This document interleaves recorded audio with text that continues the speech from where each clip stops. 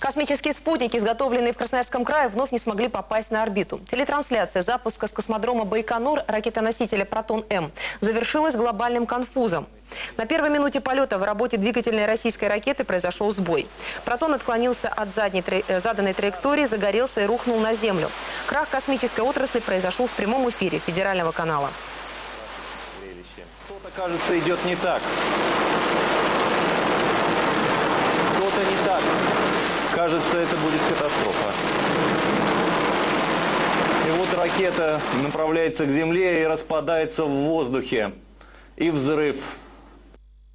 На борту взорвавшейся ракеты были три спутника, изготовленные в Железногорске, сообщает Интерфакс. Они должны были пополнить орбитальную группировку отечественной навигационной системы ГЛОНАСС. Ущерб от аварии приблизительно оценивается в 200 миллионов долларов. Напомним, с начала года э, Роскосмос потерпел уже третью неудачу.